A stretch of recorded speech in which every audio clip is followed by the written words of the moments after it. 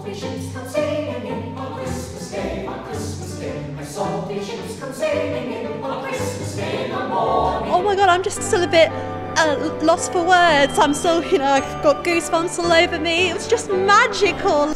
We know that, that all the effort that goes in behind the scenes to put a show on like that, and it's absolutely incredible. It was such a fantastic performance from Ade Edmondson.